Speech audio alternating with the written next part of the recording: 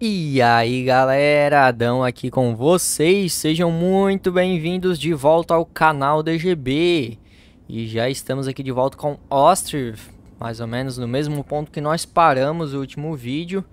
E resolvi gravar aqui dois vídeos já na sequência, até para eu poder postar aí no final de semana, sábado e domingo para vocês então já deixa aquele joinha, já deixa aquele comentário para fortalecer e se inscreva no canal se ainda não é inscrito. Seguinte, vamos começar aqui já com este visitante, vamos ver se ele tem coisa boa para nós. Tem texto, mas eu estou produzindo. Broadcloth eu estou produzindo, mas estamos com zero, estranho. Temos roupas quentes, eu poderia comprar essas roupas quentes, hein? Mas o dinheiro está diminuindo num número assim muito muito rápido. Vamos deixar parado por enquanto. Outra coisa que a gente tem que fazer é automatizar esse essa questão aqui do Fulling Mill, que no inverno não funciona. No inverno não funciona porque a corrente de, de água para. Então, ah, a gente até já fez isso, ó mas é até fevereiro, na verdade, de dezembro a fevereiro.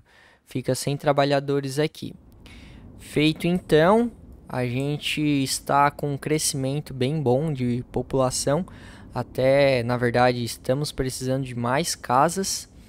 Eu estou construindo o Saltwork porque eu vou colocar os Oxen para trabalharem lá, né, para tocar essa parte. Temos dois aqui já prontinhos, preparados para estarem indo fazer esse trabalho aqui no Saltwork. Vou só esperar eles terminarem a construção e o inverno está acabando e vai começar a nossa temporada de plantio. Vamos ver a gente colocar em funcionamento esse plug aqui pela primeira vez, hein?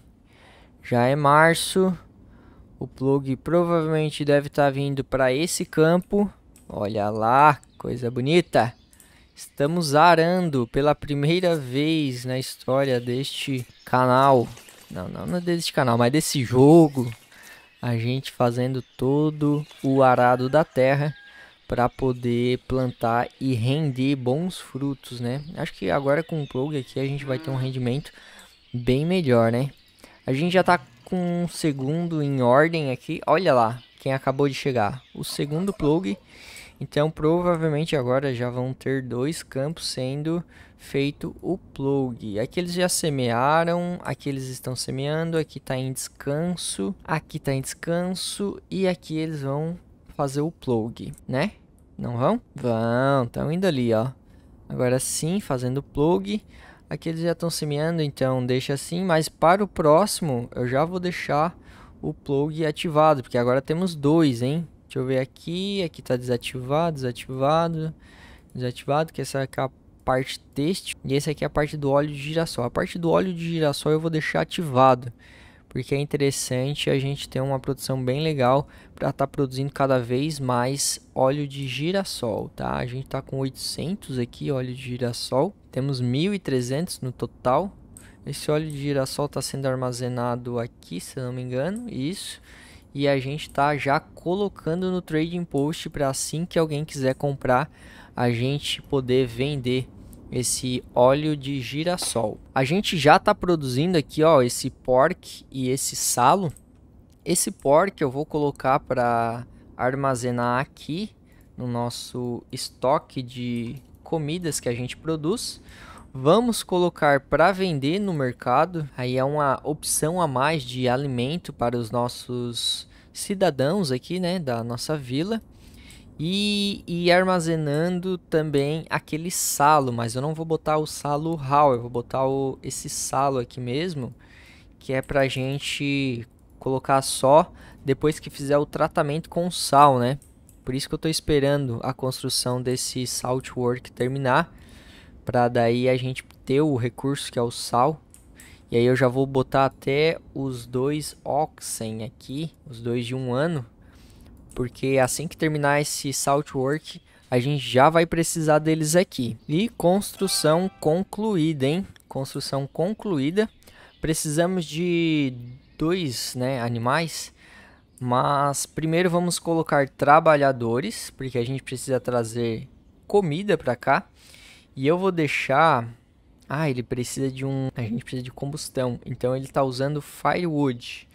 Será que firewood é a melhor opção? Firewood a gente pega direto da natureza, corta ali, tá pronta. Se for o charcoal, a gente precisa dar queimar o firewood, né? Então aqui a gente vai deixar o firewood mesmo, que é mais prático para nós.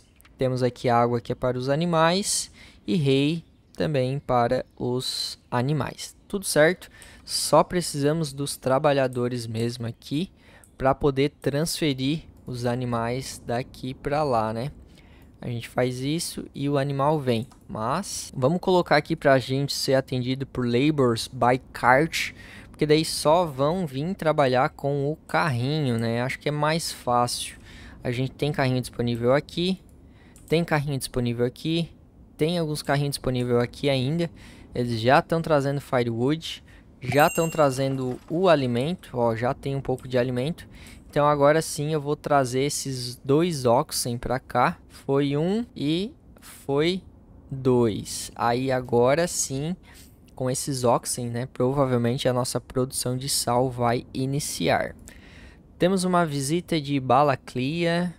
Balaclia compra óleo de girassol, mas eles compram só 800 e pouquinho. Vamos vender, né? Eles vendem também Stone. Stone a gente tem uma produção meio limitada, né? Talvez depois a gente vá precisar comprar esses Stone.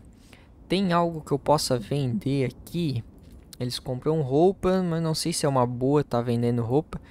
Se bem que a gente produz têxtil, né? Temos 1100 de têxtil e temos 500 de roupa. Com aqueles 1100 de têxtil a gente consegue produzir mais uma certa quantidade de roupa e a cada 500 eu ganho 125. Então eu vou fazer o seguinte, vou botar aqui no nosso trading post a clothes para a gente vender aí de 500 em 500. Eles vão trazer os 500 que estão pronto e aí a gente vende 500 e fica com a produção ativa de mais 500 roupas. Opa, passou direto 500. Tem mais algo que a gente possa vender? Não. Então é isso mesmo. Vamos ver se o nosso Saltwork já tá funcionando. Não dá pra ver. Prov... ali, ó, já tá funcionando, ó. Provavelmente o boizinho fica tocando essa rodinha. E aí a gente produz os salt. Ó, já estamos produzindo salt. Já estamos produzindo. Provavelmente aqui no açougue a gente já vai ver a produção. Ó, já tá vindo sal pra cá. E aí eles vão produzir o salo de verdade, né? que é a carne salgada do porco. Provavelmente deve ser aquelas partes, né? Orelhinha, rabinho, pata, pra gente poder fazer a, umas belas de umas feijoadas. Né? Deixa eu ver se eu consigo colocar laborers para trabalhar aqui no graneleiro, que a gente tá com bastante demanda de recursos vindo para cá e só uma pessoa não vai dar conta. Então a gente coloca o labor, né, que é mais fácil, porque daí eles vêm, trabalham quando precisam e depois param. Eu gosto de fazer assim, deixar só um trabalhador e aí depois deixo o labor para fazer o trabalho pesado quando precisa. Aqui nesse outro graneleiro vou fazer a mesma coisa. Vamos colocar laborers para trabalhar e já temos aí, olha só, 734 salos. Vamos ver se a gente coloca ou para vender aqui na nossa venda interna ou botamos para vender para o mercado externo. Eu sei que tem alguns que compram, mas é uma coisa bem baratinha, né? 10 centavos. E eu não sei se a gente vai ter uma produção em tão grande escala desse salo, mas mesmo assim vamos deixar dessa forma, né? Vamos vender apenas internamente. Outra coisa que dá para vender externamente é o salt tem o mesmo preço do salo, se eu não me engano. Eu acho que é 10 centavos também. Vamos ver a hora que aparecer alguém comprando. Mas só porque o salt aqui a gente tem uma produção infinita só tendo a mão de obra, né? Se eu quiser vir aqui colocar mais duas pessoas para trabalhar aqui, aumentar a produção e tá criando um estoque aqui dentro do nosso trading post, a gente pode começar a criar um armazém para assim que tiver sobrando, eles trazem para cá, né? Outra coisa que a gente pode pra fazer para aumentar a nossa produção de proteína seria criar outro pigst.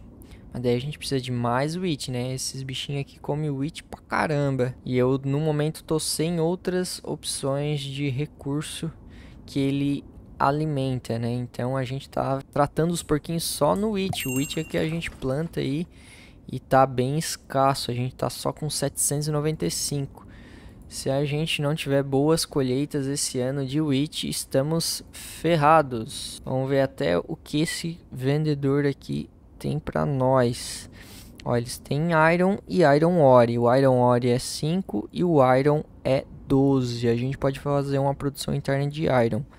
Vou vender mais mil óleos de girassol 180 e não temos mais nada para ser vendido. A bota também é uma coisa que daria para vender, mas a gente precisa de couro. Couro é 25, bota é 32, dá só aí 7 de diferença.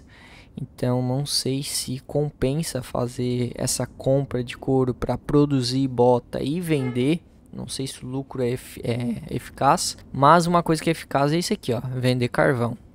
Vamos vender carvão, que carvão a gente consegue produzir de modo bem fácil. Eu vou fazer o seguinte, galera. Eu vou colocar mais um campo de wheat. Porque eu tô com medo da gente não ter uma produção suficiente de wheat. Então vou construir mais esse campinho aqui só para produzir wheat. E aí eu vou, acho que deixar assim, ó. 50, 60, descansa. E aí no próximo vai o It. E aí eu vou até fazer mais um aqui embaixo. Cara, eu tô com muito medo da gente tomar um stop aqui na gameplay por causa do Witch. Vamos botar aqui só para Witch também. Vou deixar um ano descansando e um ano colhendo.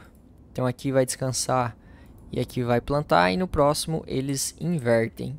E vou deixar ativado o plug comida para os nossos animais aqui que se alimentam de rei tá bem de boa. A gente tem um armazenamento de 7 mil e ele sempre está cheio. Então, tanto aqui quanto as ovelhas, quanto os bois, só os porquinhos que não se alimentam do rei, né? Seria bom, hein?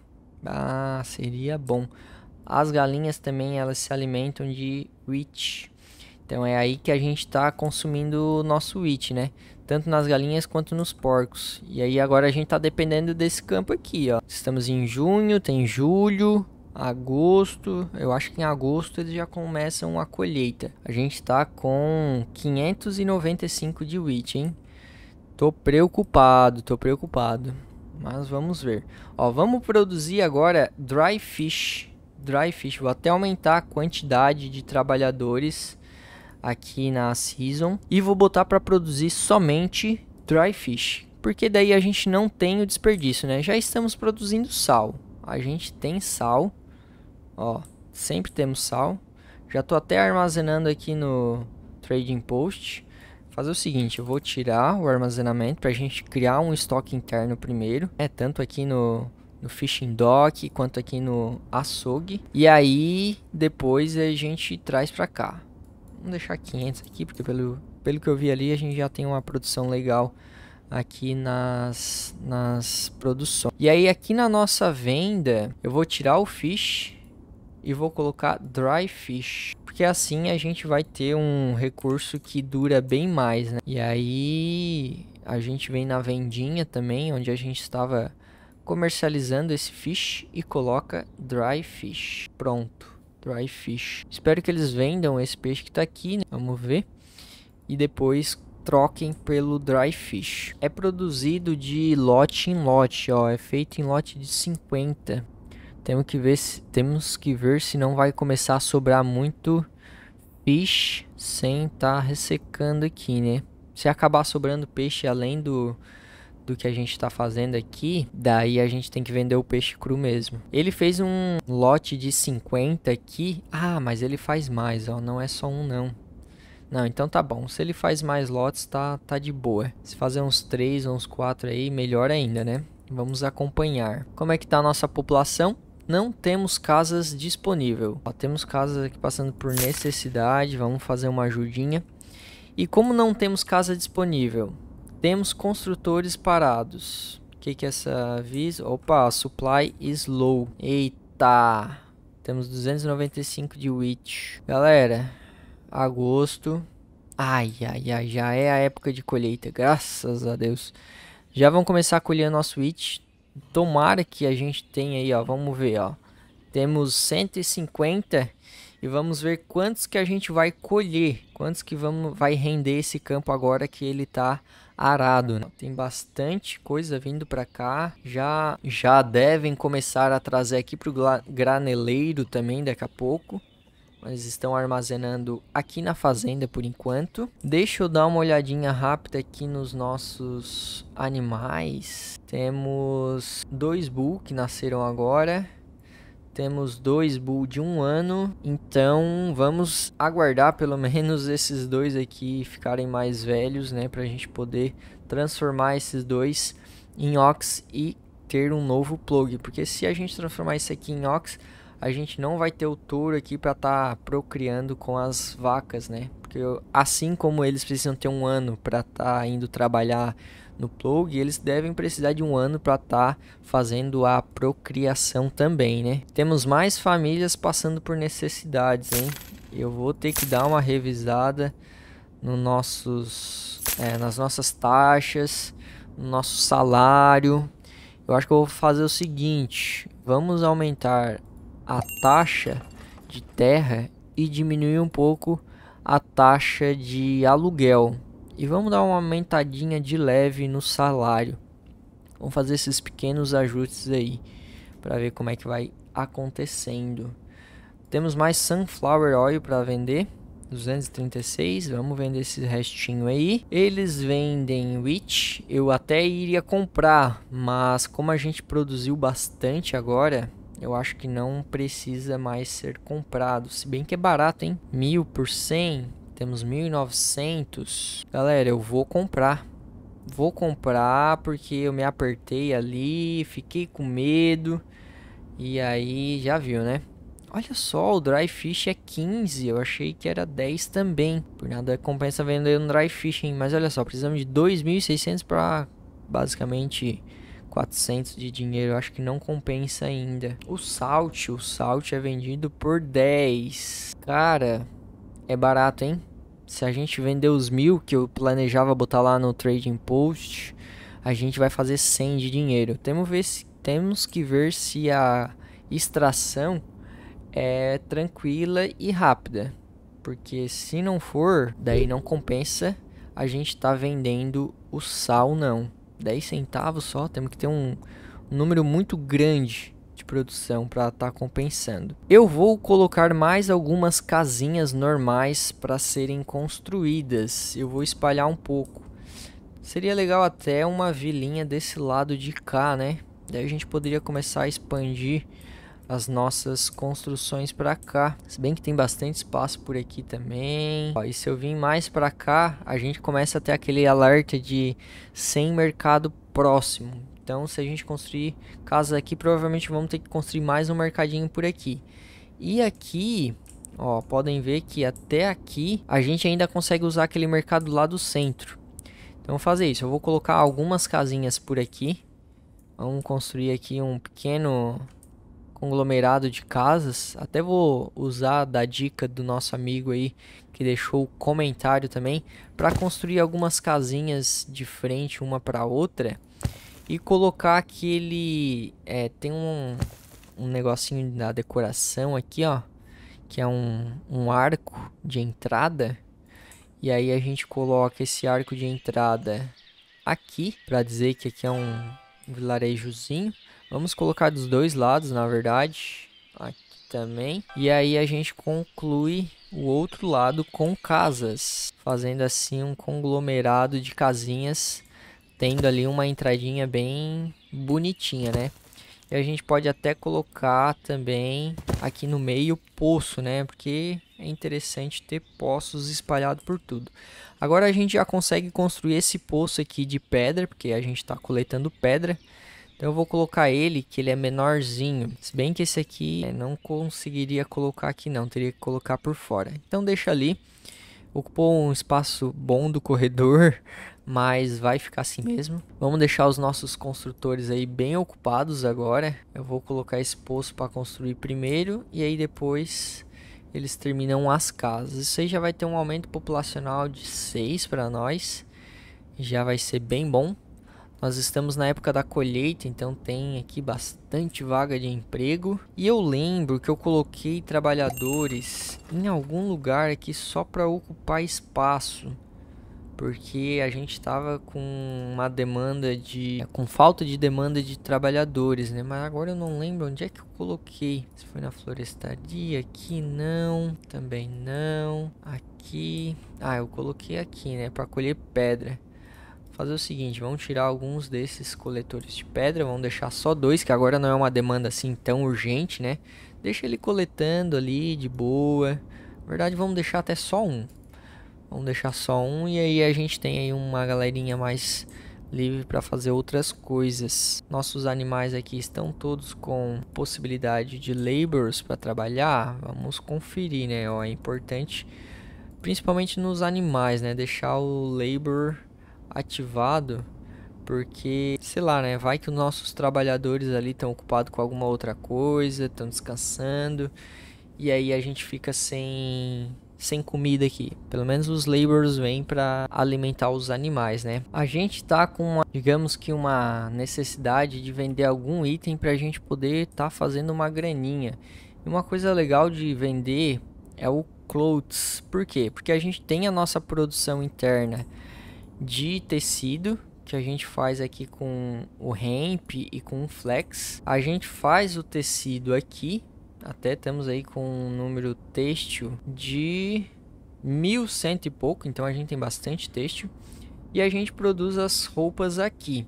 Eu vou colocar mais um ou dois trabalhadores nas roupas para a gente poder estar tá acumulando o número aqui de roupas suficiente para estar tá vendendo. É 25 centavos, né? Uma coisinha, um preço médio legal aí. Então vamos vender. Coisas que a gente produz a matéria bruta interna, matéria-prima. Então é interessante estar tá colocando para vender, né? A gente tem é, zero custo, digamos assim, né? Só a mão de obra mesmo aqui. Começou a sair as casinhas do lado de cá. Já tem gente morando aqui também. E eu não vi mais aqueles problemas de dinheiro aparecendo nas, nas casinhas, né? Provavelmente aquela mudança que a gente fez nas taxas deu uma ajudada. Vamos dar uma olhadinha nesse mensageiro. Eu tô louco que apareça um mensageiro que compre carvão, mas ele não aparece. Carvão é a melhor coisa que tem para nós vender aqui que eu tenha visto. Salo, olha só, daria 100. Eu não tô consumindo todo o salo aqui. Pelo visto, não. É, tá, tá sendo vendido bastante até, mas sempre temos aí uma produção excedente. Eu acho que os porquinhos aí têm um rendimento bem grande de salo. E aí talvez a gente consiga vender um pouco da sobra, né? Vamos botar aqui 500 para a gente estar tá armazenando e quem sabe vendendo posteriormente. Mas galera, vou encerrar esse vídeo por aqui. Eu acho que já ficou um vídeo bem mais longo do que o que eu costumo trazer aqui no canal. Se você gostou, não esqueça de deixar aquele joinha e comente aí o que, que você está achando. Se tiver dicas para me dar aí, fica à vontade, sempre leia os comentários. E é isso, vou ficando por aqui, um forte abraço e até o próximo vídeo.